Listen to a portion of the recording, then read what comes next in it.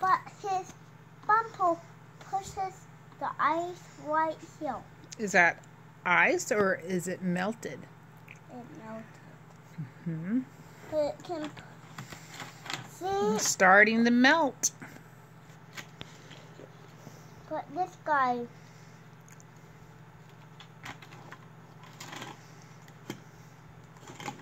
Oh, he can reach the top of the summit.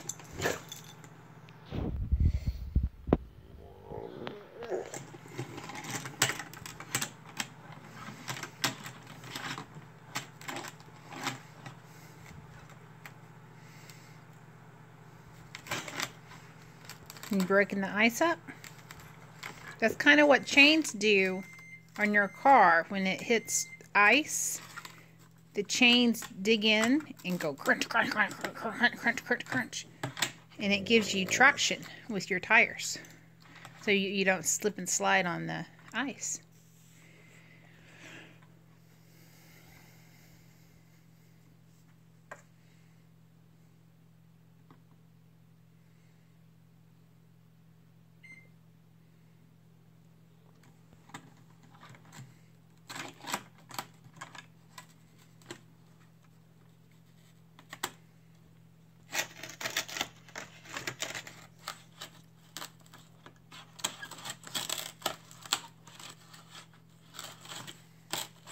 You remember in our book how Clifford goes ice skating? Yeah. You remember how he fell through the ice? Yeah. Well, because he was so much heavier than all the kids. So see how this ice is getting really thin on the edges? That it's really thick up here? That Well- would be the twin tunnel. Up yeah, so when Clifford went to ice skate, this ice wasn't strong enough. So he fell through to the water underneath.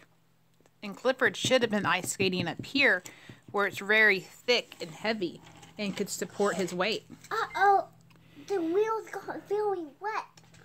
Because it's melting. See, this guy has wet wheels. Cause melting. It took off the ice. It cracked the ice wide open. It went up and down. And that's how Clifford fell through. It's when the ice cracked. Because he was too heavy.